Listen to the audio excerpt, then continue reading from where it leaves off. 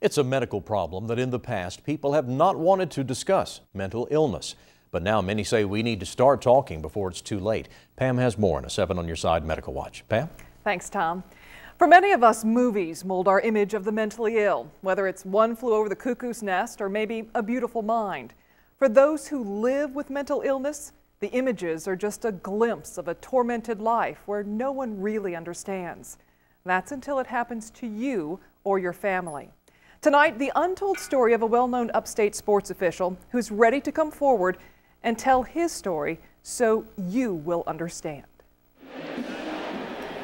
Terry Don Phillips. I'm athletic director. Hey, Mr. Athletic Director. How you doing, Mr. Don Phillips? Y'all have a good night. Thank you. He's the man in charge, and for the 80,000 fans at Death Valley, there's nothing quite like the euphoria of the gridiron. The excitement is magnified by watching it all unfold from the sidelines. For Terry Don Phillips, it's business as usual. Chris, you've been doing okay? From his friendly, mild manner, you would never know he is personally suffering as he tries to come to terms with the illness of his child. One night I got a call and he was in the uh, hospital. So. How uh, old was he then? Well, JD was, at that time, he was 19. Terry Don's son, JD, was in a hospital in Louisiana. And as he relived that night, you have these flashbacks. The heart wrenching emotion is painful. He shared with us what he had never talked about openly until now. Well, I sat with him for over three hours, probably closer to four hours, in a holding cell. A holding cell similar to this one for patients who suffer from mental illness. Terry Don's son was talking to voices, people who weren't there. The diagnosis paranoid schizophrenia.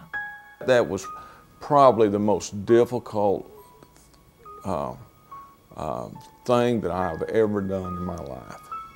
That was 10 years ago. Medication has helped JD, but it's not a cure. There is no cure for mental illness, and the financial strain is daunting.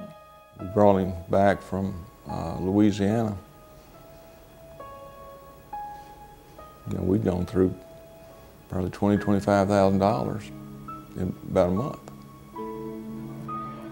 It's here in an emergency center where many mentally ill patients, just like JD, first show up.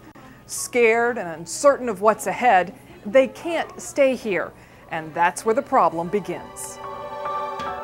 There are times where we run out of emergency rooms for this patient type. Kathy Welchel is talking about the mentally ill. She's the vice president of nursing at Spartanburg Regional. The problem with mental illness, it is very often a long-term illness. There is no place to send them for a longer period of time. But no one seems to have an easy answer. Even Dr. Bill Powell, a psychiatrist who has been treating patients in the upstate for the past 30 years. Do we have enough doctors to treat the mentally ill here? We do not. I think we definitely need more doctors. In your past, have you ever seen the state in this type of crisis with the mentally ill?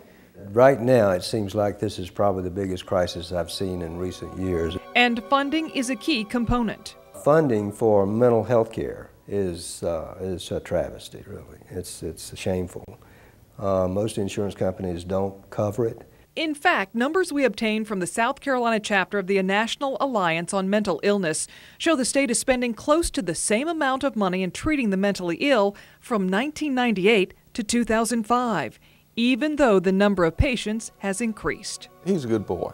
That is a hard pill to swallow for families who now truly understand the painful realities of mental illness. You know the difference of what it's made in your life. Don't you think South Carolina needs to do more? There's no question. We need to do more. America needs to do more. I mean, that's why we have people on the streets trouble navigating. That's why Terry Don, as painful as it is, is speaking out, hoping someone is listening. Obviously, you have been through a lot, and it's not always been easy. So, if today someone is going through that holding cell with their loved one, what advice would you give to them?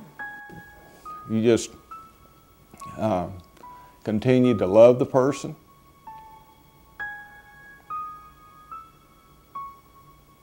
Um,